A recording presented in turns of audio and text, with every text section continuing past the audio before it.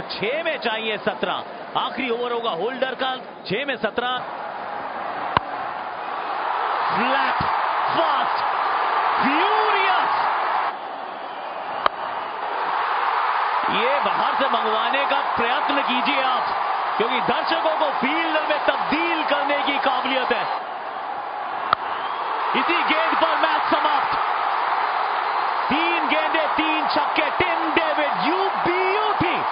M आई पल्टन 212 बनाए राजस्थान ने।